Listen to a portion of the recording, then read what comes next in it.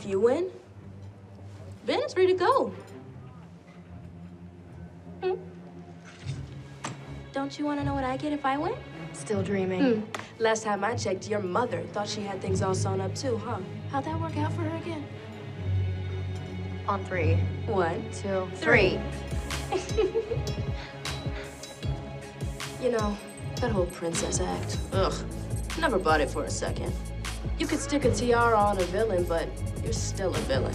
And you can slap a pirate hat on, but you're still shrimpy.